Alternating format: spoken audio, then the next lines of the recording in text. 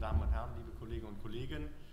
Chain of Survival ist das Thema, Early CPR. Also ich werde die ersten drei Ringe dieser Überlebenskette mit Ihnen durchgehen und die Postreanimationsbehandlung überlasse ich noch anderen Kollegen und Kolleginnen zur weiteren Erläuterung. Wie eben schon gesagt, sind die Herz-Kreislauf-Erkrankungen und der Krebs die häufigsten Todesursachen und die Herz-Kreislauf-Erkrankung immer noch an Nummer eins. Und wenn man, wie gesagt, die plötzlichen Herztod herausrechnet, das werden wir gleich sehen, dann ist der plötzliche Herz-Kreislauf-Stillstand die Todesursache Nummer drei. Was ich mit Ihnen durchgehen will, ist eine äh, deutsche Perspektive.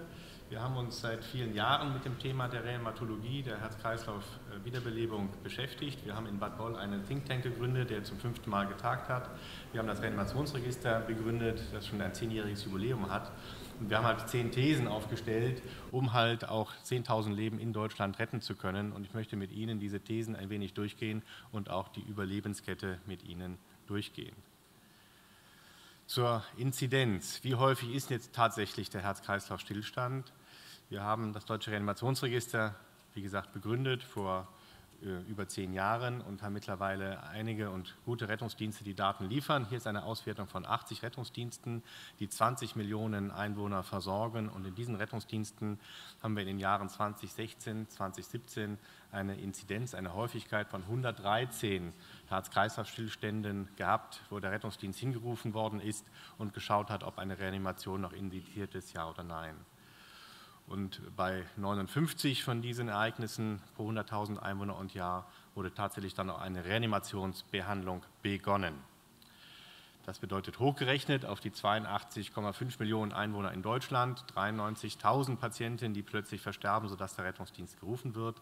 Das bedeutet über 48.000 Patienten, bei denen der Rettungsdienst auch tatsächlich eine Reanimationsbehandlung begonnen hat. Österreich ungefähr 8,8 Millionen Einwohner, also müssen Sie die Zahlen durch 10 teilen, dann wissen Sie, was in Österreich auch an Mengengerüst vorhanden ist.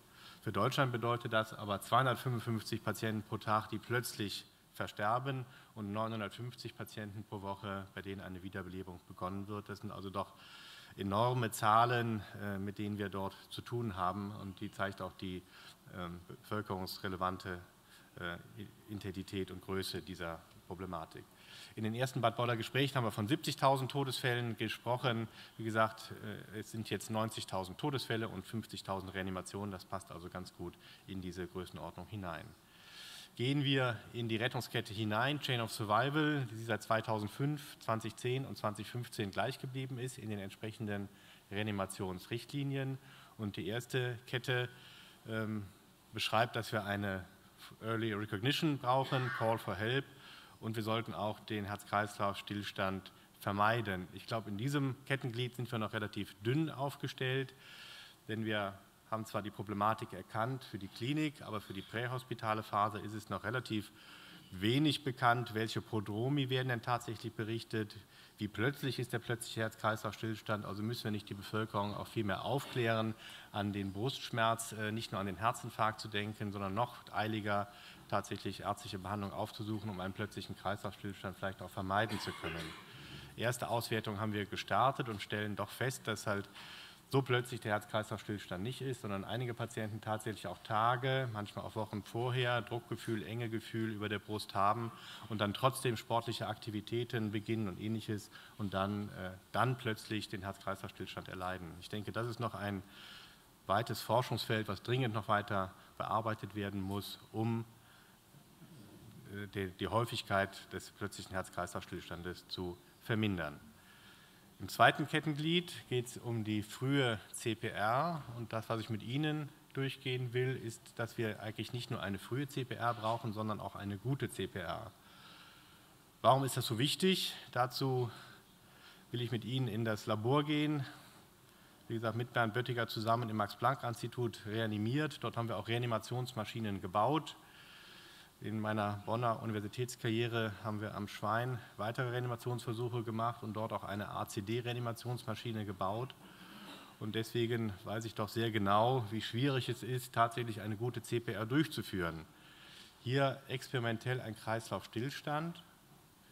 Man sieht in der oberen Reihe das EKG, das Auslösen der Fibrillation. Das geht beim offenen Thorax am Schwein mit einer 9 Volt Blockbatterie. Dann fängt das Herz an zu flimmern und Sie sehen, dass sofort der Blutdruck in der dritten Zeile dargestellt zusammenbricht und ein Herz-Kreislauf-Stillstand ausgelöst wird.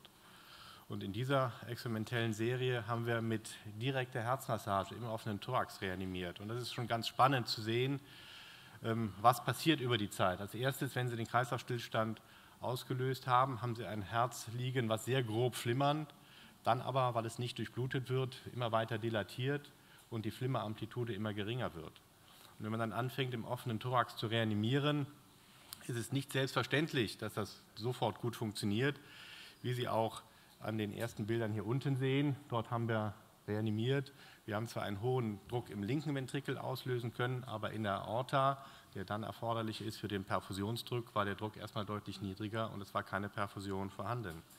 Also man muss auch bei der offenen Herzmassage das Herz so drücken, dass tatsächlich von der Herzspitze zur Herzbasis die Kontraktion abläuft und man damit dann einen optimalen Fluss aus dem Herzen heraus generieren kann. Und das haben wir in dieser experimentellen Serie unter Monitoring gemacht. Also die Doktoranden, die diese Versuche durchgeführt hatten, hatten den Monitor mit den Druckkurven vor sich und konnten die Herzdruckmassage am, im offenen, am offenen Herzen im Thorax so durchführen, dass tatsächlich aortaler Druck optimiert werden konnte und der diastolische Druck in der Aorta optimiert werden konnte. Und Sie sehen dann hier nach äh, fünf Minuten, zehn Minuten Herzdruckmassage ist aus dem Kammerflimmern wieder ein grobes Kammerflimmern geworden und eine Defibrillation konnte erfolgreich diese Reanimation abschließen und ein Return of Spontaneous Circulation hat sich hier eingestellt. Ich habe das nochmal komprimiert dargestellt in einer anderen experimentellen Serie. Hier haben wir einen 15-minütigen Kreislaufstillstand. Auch hier sieht man wieder die elektrische Induktion des Kammerflimmerns. Und es ist völlig klar, wenn man in dieser frühen Phase schon defibrilliert, dann hat man ein Herz vor sich, was voller ATP, Phosphokreatin ist. Das können Sie tatsächlich auch dann defibrillieren und das wird wieder vernünftig anfangen zu schlagen und einen Kreislauf wiederherstellen. Wenn Sie erst später dazukommen, ist das Flimmern schon degeneriert zu einem äh, schwachen Kammerflimmern, fast zu einer Asystolie.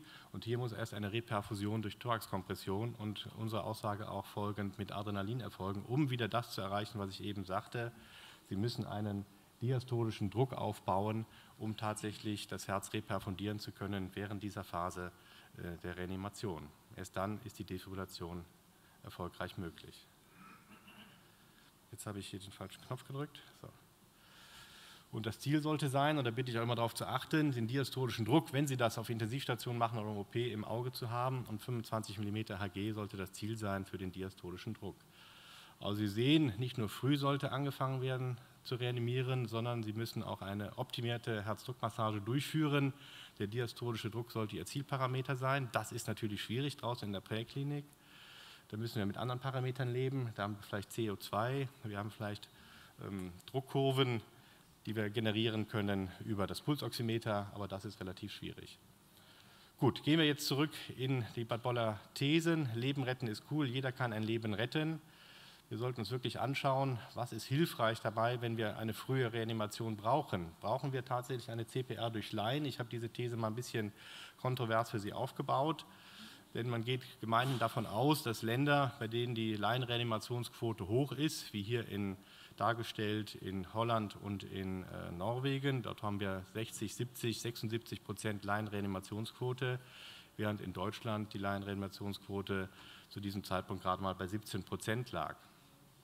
Ein bisschen steht es aber im Widerspruch zu den Reanimationsergebnissen. Für das Weißbuch Reanimationsversorgung haben wir hier mal Rettungsdienste aufgelistet mit der entsprechenden Entlassungsrate pro 100.000 Einwohner und Jahr hier nochmal aktualisiert und wir sehen, dass Norwegen und Holland gute, sehr gute Ergebnisse erzielen, aber nicht unbedingt in der Spitzengruppe sind. Deutsche Rettungsdienste schaffen es auch, deutlich mehr Patienten lebend aus dem Krankenhaus zu entlassen, auch mit einer niedrigeren Laienreanimationsquote. Deswegen eine provokante These, wir brauchen gar keine Laienreanimation, es geht vielleicht auch mit weniger besser, Fragezeichen. Und weil mich das nicht ganz äh, hat ruhen lassen, bin ich auch nochmal mit anderen Ansätzen dieser These nachgegangen und habe mich genau damit beschäftigt, was hat das denn nun auf sich mit Hilfsfrist und reanimationsfreien Intervall und welchen Nutzen hat auf dieser Ebene die Laienreanimation tatsächlich. Das reanimationsfreie Intervall ist das Intervall von Kollaps des Patienten bis zum Beginn einer äh, Laienreanimation oder einer professionellen Reanimation, je nachdem, wer als erster beim Patienten ist. Und dieses reanimationsfreie Intervall konnten wir im Reanimationsregister bei 6.208 Patienten in dieser Analyse darstellen. Es war im Mittel 6,9 Minuten. Und wir hatten für diese Patienten eine Entlassungsrate von 12 Prozent und mit guter neurologischer Erholung von 9 Prozent. Und wir haben diese Patientengruppe aufgeteilt in sechs Zeitgruppen, entsprechend des reanimationsfreien Intervalles 0 bis 1 Minuten 2000 Patienten und auch 9 bis 10 bis 11 Minuten 900 Patienten pro Gruppe, also durchaus hinreichend große Gruppen, um eine Statistik zu machen. Und Sie sehen, dass das reanimationsfreie Intervall von 0,8 Minuten in der ersten Gruppe bis auf 15 und nachher auch über 22 Minuten ansteigt. Und entsprechend sind auch die Aufnahmerate mit ROSC abgefallen von 50 auf 25 Prozent und mit Entlassungsrate von 17 auf 2 und mit guter Neurologie von 13 auf 1,2 Prozent der Patienten, bei denen die Reanimation begonnen worden ist. Wenn man das grafisch darstellt, sehen Sie eine lineare Abnahme äh, der Häufigkeit einer Kreislaufwiederherstellung über diesen Zeitraum von 0 bis 20 Minuten. Und was für uns äh, etwas erschreckender war, war dieser logarithmische Abfall. Und das zeigt eigentlich, wie wichtig es ist, frühzeitig mit der Reanimation zu beginnen. Denn wenn das reanimationsfreie Intervall zunimmt, nimmt die Wahrscheinlichkeit drastisch ab, dass ein Patient mit guter neurologischer Erholung diese, das Krankenhaus oder diese Krankheit überstehen kann, das Krankenhaus verlassen kann. Und wir haben dann in einer weiteren Untersuchung nochmal das reanimationsfreie Intervall aufgetragen gegen den, der die Reanimation begonnen hat. Hier die Laienreanimation mit BCPR dargestellt, ganz vorne, die Telefonreanimation und First Responder in den nächsten beiden Punkten.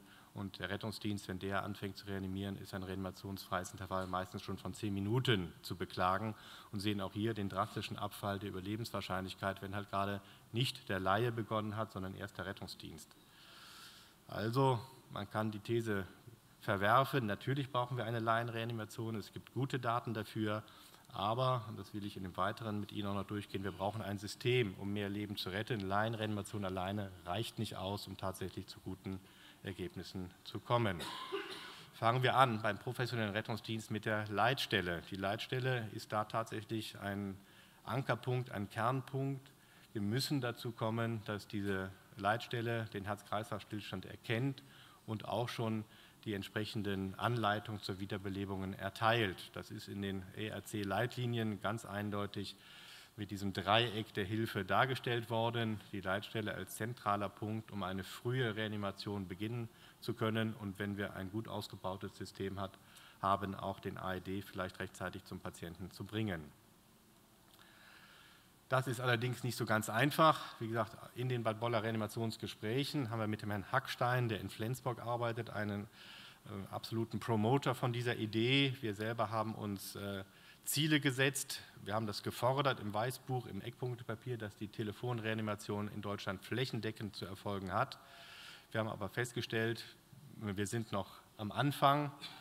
Mit 0 Prozent haben wir angefangen. Wir sind vielleicht jetzt bei 20 bis 30 Prozent und 50 äh, Prozent sollte das Ziel sein. Die gute Nachricht ist, wir haben tatsächlich diese ansteigenden Zahlen. Wir sind jetzt bei 20 bis 30 Prozent in Deutschland, wenn man das Reanimationsregister befragt. Und wir müssen auch im Detail lernen, warum das nicht funktioniert. Manchmal liegt es daran, dass die Leitstelle den Kreislaufstillstand nicht erkennt. Dann kann es aber auch daran liegen, dass natürlich der, der die Anweisung erhält, es nicht durchführen kann. Eine 80-jährige Frau ihren 80-jährigen Mann versucht zu reanimieren, kann technisch schwierig sein. Aber trotzdem gibt es dann noch Potenzial, was wir dringend ausschöpfen sollten, um dort die Rettungskette früh und effizient beginnen lassen zu können. Immerhin hatten wir im Jahre 2017 schon 2750 Patienten in Deutschland, die eine Telefonreanimation erhalten haben. Und das sind doch schon ganz äh, ermutigende Zahlen. Mit einer Doktorarbeit, Frau Teufel, äh, haben wir dies auch statistisch untersucht. Und wir sehen hier auch nochmal die entsprechenden Reanimationserfolge. ROSC-Rate, Krankenhausaufnahme mit ROSC, Entlassungsrate, hier entsprechend und wir sehen, dass die Laienreanimation auch hier zu einem signifikanten Überlebensvorteil führt, wenn man es vergleicht mit einer Gruppe, die keine Laienreanimation bekommen hat. Und wir sehen auch, dass die Telefonreanimation bezüglich der Entlassungsrate auch einen Vorteil darstellt, bezüglich der Krankenhausaufnahmerate noch nicht. Aber auch da zeigt sich schon, Telefonreanimation ist in Deutschland wirksam und sinnvoll. Also Laienreanimation ja, Telefonreanimation ja, aber das mit dem System geht noch weiter. In Deutschland haben wir äh, sehr heftige Diskussionen über die Hilfsfristen auch. Die Hilfsfrist ist das Zeitintervall, was der professionelle, professionelle Rettungsdienst benötigt, ab der Alarmierung beim Patienten zu sein. Wir haben verschiedene Untersuchungen gestartet, denn bei uns ist es so, dass die Politik zum Teil sagt, naja, Hilfsfrist ist nicht so wichtig, das reicht ja, wenn Laienreanimation gut ausgebildet ist, das reicht doch aus und es ist egal, wann die professionelle Rettung kommt, das kann ja ruhig in 10 oder 15 Minuten sein. Und äh, gestern haben wir hier auf dem Kongress ja auch schon gehört, wie die Rettung in äh, Österreich organisiert ist, sehr unterschiedlich, zum Teil auch auf freiwilliger Basis. Und ich glaube, man muss tatsächlich sehr ernsthaft darüber nachdenken, welche Hilfsfrist man erreichen kann, denn die hat einen Einfluss auf das Reanimationsergebnis wie wir in den wissenschaftlichen Arbeitstagen in Kiel gezeigt haben. Wir bereiten gerade eine Publikation für das Deutsche Ärzteblatt vor und haben hier eine größere Studie an 17.000 und 13.000 Patienten aufgelegt. Und Sie sehen hier aktuelle, noch nicht veröffentlichte Zahlen diesbezüglich. Unten ist die Hilfsfrist aufgelistet in fünf Zeitslots, 0 bis 2 Minuten und dann größer 12 Minuten die Hilfsfrist. Und Sie sehen als erstes die Entlassungsrate über die zunehmende Hilfsfrist und die nimmt ab über die Zeit, auch wenn der Patient eine Laienreanimation erhalten hat. Die nächste Kurve zeigt Ihnen die Patienten, die keine Laienreanimation erhalten hat und auch da nimmt die entsprechende Überlebenswahrscheinlichkeit ab mit der Zeit. Also Laienreanimation zum einen, aber auch die Hilfsfrist zum anderen hat einen enormen Einfluss auf die Überlebenswahrscheinlichkeit. Wir haben die entsprechende Statistik durchgeführt und Sie sehen, das ist ein signifikanter Abfall über die Zeit in beiden Gruppen und die Laienreanimation ist jeweils äh, besser, als wenn ich keine Laienreanimation beim Patienten habe. Ein erstes wichtiges Ergebnis, Hilfsfrist, hat einen Einfluss. Im Weiteren haben wir uns überlegt, woran liegt es denn tatsächlich, dass professionelle Hilfe von, äh, sinnvoll ist, ja oder nein. Und wir stellen halt fest, je schneller die Profis da ist, desto häufiger wird früh defibrilliert, desto häufiger gibt es auch einen Vasopressor. Und das sind ganz wichtige Indizien, dass es halt nicht erreicht, alleine den Laien drücken zu lassen, zum Teil ja auch ohne Beatmung, sondern wir brauchen hier die Kombination zwischen der Laienreanimation, der beginnt, und der Profi, der dann mit den entsprechenden Mitteln, Defibrillation, Atemwegsmanagement, Vasopressorgabe eine professionelle Reanimation fortführt. Dass Epinephrin nicht sinnlos ist und dass die frühe Gabe ebenfalls sinnvoll ist, wurde in einer amerikanischen Studie gerade publiziert im März, Resuscitation Outcome Consortium aus Nordamerika zeigte auch die entsprechende Abhängigkeit ähm, nach der, das ist hier die Zeit nach der Epinephringabe. Je später das Epinephrin gibt, desto geringer äh, ist die Überlebenswahrscheinlichkeit. Es gibt die entsprechenden statistischen Analysen und wie gesagt, pro Minute verzögerte Adrenalingabe nimmt die Überlebenswahrscheinlichkeit um 4% ab. Also auch da sehen Sie, es ist notwendig, dass der Profi rechtzeitig beim Patienten ist und mit den entsprechenden erweiterten Maßnahmen die Reanimation fortführt. Eine weitere interessante Studie zu diesem Formenkreis gibt es aus Dänemark. Dänemark hat ebenfalls, so wie wir, auch die Beiständer-CPR über die Hilfsfrist sich angeschaut. Mit Beiständer, ohne Beiständer, CPR sieht man auch hier den drastischen Abfall der Überlebenswahrscheinlichkeit. Und die Kollegen haben mit einem äh, Multiregressionsmodell auch geschaut, wie viele Leben sind denn potenziell zu retten. Und man hat festgestellt, Dänemark mit 5,7 Millionen Einwohnern ließen sich bei einer Verkürzung der Hilfsfrist von sieben auf fünf Minuten im Mittel 119 Leben pro Jahr retten. Also das sind auch schon äh, äh, beeindruckende Zahlen, äh, die die Dänen hier entsprechend generiert haben. Auf Deutschland hochgerechnet wären das 1700 Menschenleben mehr, wenn man tatsächlich die Hilfsfrist entsprechend straffen könnte. Unsere eigene Untersuchung kommt zu ähnlichen Resultaten. Wir haben schnelle und langsame Rettungsdienste verglichen, schnelle Rettungsdienste grün dargestellt, die langsamen rot dargestellt. Und wir sehen hier in den Säulen, dass tatsächlich in schnellen Rettungsdiensten häufiger reanimiert wird, und häufiger ein Patient mit einem eigenen Kreislauf ins Krankenhaus aufgenommen wird. Und was Neues in, in dieser Untersuchung ist, dass wir auch mehr Patienten pro 100.000 Einwohner und Jahr lebend aus dem Krankenhaus entlassen können. Und wenn man diese Kalkulation als Grundlage nimmt und davon ausgeht, dass 60 Prozent der Rettungsdienste in Deutschland zu den langsamen gehören, so könnten auch hier durch die Beschleunigung von langsam auf schnell, da geht es um 1,5 Minuten im Mittel, könnten 1040 Leben gerettet werden. Also auch hier zeigt sich eindeutig, Hilfsfrist ist relevant für das Überleben nach plötzlichem Herz-Kreislauf-Stillstand. So, was gehört noch dazu, aus einer frühen CPR eine gute zu machen? Zum Beispiel auch Feedback-Systeme sind zu empfehlen. Dort gibt es äh, verschiedene Systeme am Markt. Es gibt noch wenige Studien, die aber durchaus zeigen, dass die Reanimationsqualität gesteigert werden kann, wenn ich ein solches Feedback-System im Rettungsdienst einführe. Wir haben eine Untersuchung mit dem Reanimationsregister in Münster gemacht und hier gab es dann auch einen Überlebensvorteil, zumindest kurzfristig konnte dargestellt werden, in dieser Abbildung dargestellt. Und äh, das zeigt, dass man tatsächlich mit diesem Feedback vor Ort und Feedback als Teamdebriefing den Rettungsdienst online und kontinuierlich schulen kann, um die Reanimation besser durchführen zu können. Ein nächster Punkt, Gute CPR bedeutet nicht nur früh zu beginnen, es bedeutet nicht nur durch den Profi zu beginnen, sondern es hat auch was mit Atemwegsmanagement zu tun. Da gibt es auch zwei interessante Untersuchungen. Zum einen aus dem Reanimationsregister Register mit dem Nils Henning Behrens, veröffentlicht jetzt auf den Watten. Dort haben wir eine Match-Pair-Analyse gemacht mit 1654 Paaren, verglichen Patienten, die einen Atemweg brauchen. Die eine Gruppe wurde primär intubiert, die andere hatte einen Larynxtubus bekommen und man sieht hier auf diesem äh, entsprechenden Plot, dass tatsächlich die ITN jeweils besser war für die Outcome-Punkte ROSC bis hin zur neurologisch guten Entlassung zeigte sich ein Vorteil, wenn tatsächlich der Patient primär einen Larynxtubus erhalten hat. Ähnliches wurde hier aus Österreich ähm, berichtet, aus Wien. Patrick Sulzgruber hat das publiziert. Dort wurde auch eine Untersuchung gemacht, der Impact of Airways Tragedy. Ähm, hier gibt es ein Paradoxon, nämlich die erste Gruppe, wenn ein Patient gar keinen Atemweg braucht, nur mit Maske und äh, Beutel beatmet worden ist, so sind diese Patienten extrem gut im Outcome. Ähm, nimmt man diese aber aus dieser Untersuchung heraus und guckt sich dann die Patienten an, die tatsächlich wie bei uns auch einen Atemweg erhalten hat, so zeigt sich eindeutig, dass ITN, das ist hier der endotracheale Tubus, besser ist, als wenn ich nur einen Larynxtubus verwende. Die Theorie dahinter steckt halt, dass ich nicht nur eine gute Herzdruckmassage brauche, sondern natürlich auch eine Reoxygenierung brauche. Und der Larynxtubus ist halt nicht immer in der Lage, diese Oxygenierung sicherzustellen. Und deswegen wird auch hier empfohlen, dass man tatsächlich die primäre endotracheale Intubation trainieren muss und entsprechend umsetzen muss, um dort zu dem entsprechenden Erfolg kommen zu können.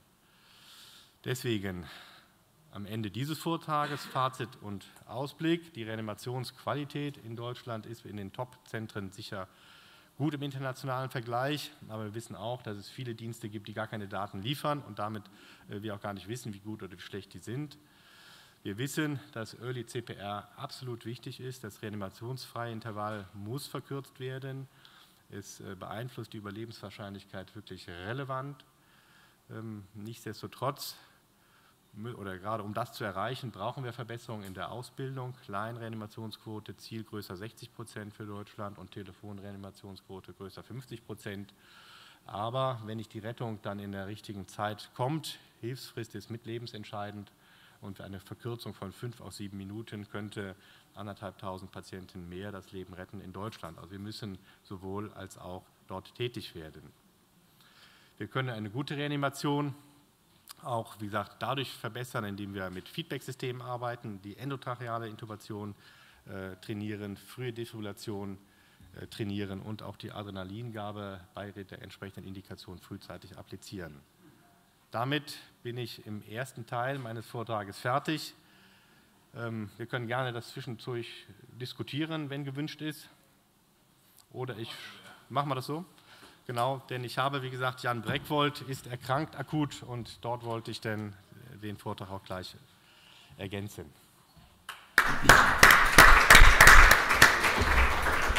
Kriegt, kriegt jetzt der Herr Matthias Fischer erstmal als Matthias Fischer einen Applaus.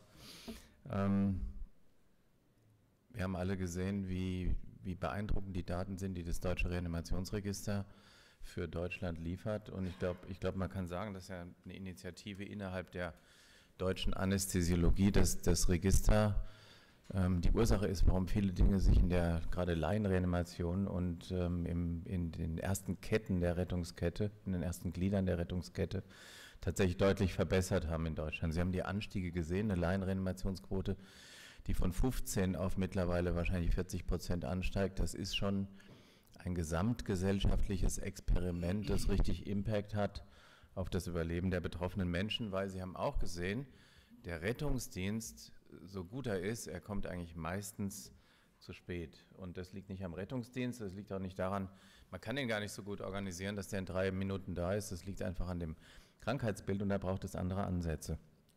Darf ich mal fragen, wer arbeitet äh, im Rettungsdienst von den hier Anwesenden? Also einige, Dankeschön. Wer arbeitet als, äh, wer arbeitet im Krankenhaus? Also wir haben hier sozusagen alle oder verschiedene Glieder der Rettungskette vertreten und ähm, ich würde gerne die Diskussion eröffnen, wenn Sie möchten. Bitte sehr, da hinten ist eine Frage.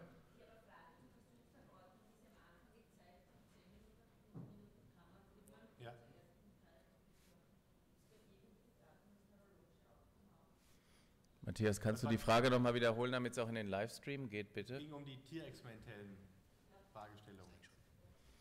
Ähm, genau, also die, es geht, die Frage war darum, wir hatten in dieser Versuchsanordnung 10 Minuten Kammerflimmern gemacht und dann angefangen zu reanimieren und die neurologische Erholung der Tiere wurde gefragt. Wir haben seinerzeit nicht die neurologische Erholung untersucht, aber mittlerweile gibt es Experimente von den Kollegen Trummer aus Freiburg, wo bei Schweinen eine Kreislaufstillstandzeit von 15 Minuten und 20 Minuten untersucht wird, inklusive neurologischer Erholung. Und in diesen Experimenten mit speziellen Reperfusionsstrategien ist es möglich, auch diese Tiere wieder in einen neurologisch intakten Zustand zu reanimieren. Also die Überlebungszeit des Gehirns ist deutlich länger als die drei bis fünf Minuten, die wir bisher angenommen haben. Mhm. Nichtsdestotrotz ist eine frühe Leinreanimation erforderlich, weil diese Reperfusionsstrategien bisher ausschließlich experimentell zur Verfügung stehen. Weitere Fragen? Ja, jetzt kommt ein Mikrofon zu Ihnen. Wunderbar. Gemisch aus Graz. Grüß Gott. Vielen Dank für den schönen Vortrag. Ich schaue voller Interesse diese Folie an und stelle vor allem beim Punkt 5 irgendwie eine Quadratur des Kreises fest. Ähm, es hilft ja nichts, wenn in die Hilfsfrist verkürzt und irgendein Rettungsauto hinschickt, wo jemand dann drauf sitzt, der 100 Stunden Ausbildung gehabt hat, wobei das ja schon gut ist. Man braucht ja auch einen, der dann gut CPR macht ähm, das heißt, er muss intubieren können, Leitung legen können und braucht eine entsprechend lange Ausbildung. Das stelle ich mir gleichzeitig mit der Verkürzung der Hilfsfristen als epidemiologisch außerordentlich schwierig vor. Aber ich nehme an, Sie haben da sicher sich schon mehr Gedanken darüber gemacht. Also das ist die nächste Frage. Im Moment ist die Analyse das ersteintreffende Rettungsfahrzeug. In Deutschland haben wir allerdings eine andere Organisation. Der Rettungsdienst ist tatsächlich das haben wir auch gestern nochmal sehr eindrücklich gehört, äh, ist professionell unterwegs. Also es gibt kaum, äh, sage ich mal, Rettungsdienstmitarbeiter, die das nicht als Hauptberuf machen. Wir haben dann mittlerweile alle eine zweijährige, demnächst eine dreijährige Ausbildung. Die können auf jeden Fall die Defibrillation durchführen. Der Notfallsanitäter soll in solchen Situationen zukünftig auch eine Leitung legen und auch Adrenalin geben. Mit der endotrachealen Intubation sind wir da mal ein bisschen zurückhaltend. Aber das sind die Ausbildungskonzepte, die in Deutschland umgesetzt werden.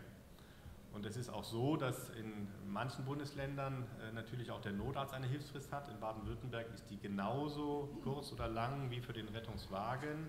Also auch da ist der Notarzt in 95 Prozent in 15 Minuten beim Patienten. In anderen Bundesländern ist es ein bisschen anders äh, organisiert, aber der Notarzt kommt in einer adäquaten Zeit mit hinzu im Sinne des Rendezvous-Systems. Ja. Aber da kann ich Ihnen noch keine aktuellen Daten dazu geben, wie groß der Impact des Notarztes ist nach 10 Minuten, nach 15 Minuten gegenüber dem Rettungsdienst. Das ist noch nicht ausgewertet. Wir, wir haben eine Meta-Analyse gemacht und alle internationalen Studien reingenommen, ob denn Notärztinnen und Notärzte das Überleben zusätzlich verbessern zum Einsatz von Paramedics. Und da ist rausgekommen, dass sie das Überleben verdoppeln im Vergleich zu Paramedics. International. Also, sagen wir so, es gibt bisher noch keine randomisiert kontrollierte Studie dazu, aber es gibt bisher auch noch keine randomisiert kontrollierte Studie dazu, dass Ärzte in Krankenhäusern das Überleben verbessern. Im Gegenteil, es gibt eine Studie, die in England durchgeführt wurde, da waren die Ärzte zwei Wochen am Streik. Und ähm, da hat man mal untersucht, was das auf das Überleben der Menschen im Krankenhaus äh, für Auswirkungen hatte. Und das Überleben war tatsächlich besser. sollte uns zu denken geben. Ja. Sie sehen, wie komplex das Da sieht man mal, wie schwierig es ist, die Studien richtig zu machen und auch richtig zu interpretieren. Wir sind ja alle davon überzeugt, dass Ärzte vielleicht doch einen positiven Impact haben. Es wäre sehr schade, wenn dem nicht so wäre. Weitere Fragen? Ja, ich, hätte, ich hätte eine kurze Frage zwischendurch. Ähm, wie viel Prozent der deutschen Rettungsdienste melden in das Register? Können Sie das genau, ungefähr wir haben, äh, quantifizieren? 40 Rettungsdienste in Deutschland und äh, wie gesagt, jetzt habe ich 80 eben dargestellt. Okay. Und 20 Millionen Einwohner, bei 80 Millionen, also 25 Prozent, haben wir ungefähr die, äh, ein Covering der deutschen Bevölkerung mit dem deutschen Reanimationsregister. Das ist ganz beachtlich, weil es halt freiwillig ist, nicht irgendwie gesetzlich mhm. gefordert. Und von daher hoffen wir noch weiter zu wachsen, aber das ist im Moment der Status. Ungefähr 25 Prozent der Bevölkerung werden abgedeckt und gemonitort über das Reanimationsregister. Danke. Herr Benent. Ja, Jan Benent aus Kiel. Matthias, vielleicht kann ich da noch mal ganz kurz einspringen in der Vorbereitung auf den aktuellen Jahresbericht des Reanimationsregisters und auf die Eureka-2-Studie. Wir haben angemeldete Rettungsdienste, jetzt unabhängig davon, ob sie valide Daten liefern oder nicht, von den 240, die Matthias gerade genannt hat, 140 in Deutschland. Das ist bei den Kliniken noch ein deutlich weniger, äh, kleinerer Prozentsatz. Und ähm, für das aktuelle oder für das vergangene Jahr 2017 decken wir mit den Anmeldezahlen ungefähr 30 Millionen Bevölkerung ab. Also noch deutlich unter der Hälfte. Es ist aber auch ein freiwilliges Register und ähm, leider kein verpflichtendes. Aber immerhin 20 Millionen ist zweimal Österreich, was wir schon abdecken, das ist auch nicht so schlecht. Gut. Ich habe vielleicht noch eine letzte Frage an Sie alle. Die Amerikaner haben ja diesen Begriff Chain of Survival sozusagen in die Welt gesetzt und glauben auch, dass sie ihn erfunden haben. Aber wissen Sie, wer den, den Begriff Chain of Survival oder vielleicht auch den Begriff Rettungskette als erstes mal erwähnt und auch publiziert hat? Weiß das jemand? Matthias Fischer weiß das sicher, oder? Der gute Herr Arnefeld. Ja, das ist ein, ein, ein Anästhesiologieprofessor aus Ulm und Mainz gewesen. Er hat in den 70er Jahren die Rettungskette publiziert. Das haben die Amerikaner ein bisschen vergessen, aber wir erinnern sie immer wieder dran.